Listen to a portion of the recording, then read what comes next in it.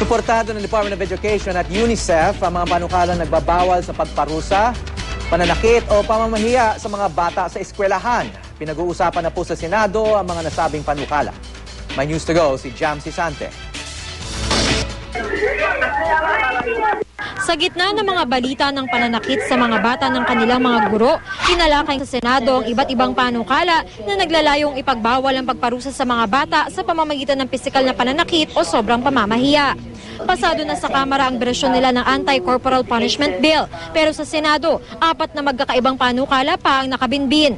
Nagpahayag ng suporta ang Department of Education, UNICEF at iba't ibang organisasyon sa panukala. Kailangan na raw kasing mawakasan ang pagpaparusa sa mga bata sa pamamagitan ng pananakit at makagisna ng positibong paraan ng pagdidisiplina sa kabataan tulad ng pakikipag-usap sa kanila sa maayos na paraan. DepEd has launched its child protection policy, promoting a zero tolerance policy for any act of uh, child abuse, exploit, uh, exploitation, uh, including uh, what is sought to be achieved in the bills uh, under consideration by this uh, honorable committee. Pwede din pong mangyari ang violent forms of discipline in families which are better off compared to the poor households.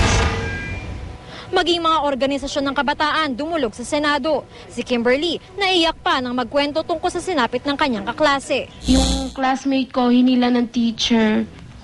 Dahil daw po hindi properly naka, nakatay yung necktie niya. So, nasama po siya kasama ng...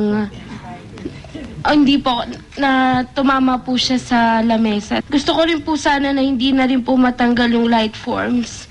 Yung pamimingot, pangungurot, pananabunot. Kasi po, um, mostly po ganun po yung narar- nararanasan namin.